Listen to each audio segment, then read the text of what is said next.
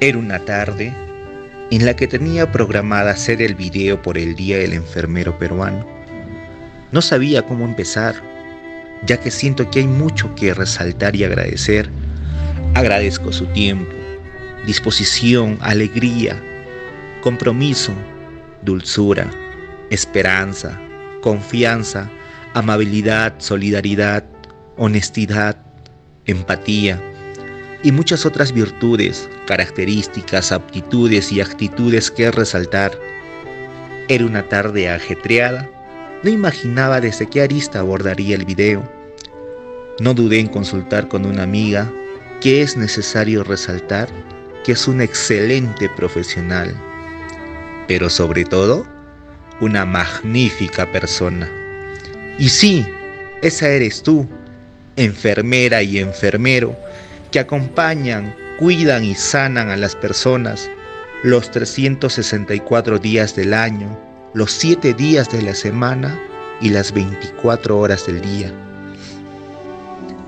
He tenido la suerte de acudir a múltiples y diferentes ceremonias protocolares de enfermería y siempre he escuchado hablar que la enfermera tiene la bendición de su noble profesión de ver el inicio de la vida, ver abrir los ojos de un recién nacido, presenciar el dolor, desesperanza, conformismo, su asimilación de la enfermedad, su recuperación, su alegría y su alta.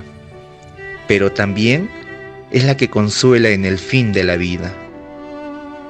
Hoy es tu día.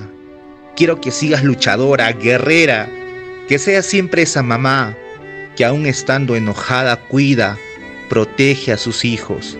Seas esa luz que riñe, aconseja y guía. Seas ese superhéroe que no teniendo recursos hace de todo para brindar una atención que solo tú puedes hacerlo. Feliz día para ti, enfermera y enfermero peruano quiero enviar un saludo a la del Consejo Regional 5 Arequipa, Magíster María Luisa Chirinos, a su junta directiva y a todas las colegas de esta hermosa región de Arequipa. Un abrazo a cada una de ustedes, que tengan un hermoso 30 de agosto, que la enfermera de la región Arequipa se siga posicionando y empoderándose como lo viene haciendo. ¡Feliz Día de la Enfermera Peruana! ¡Feliz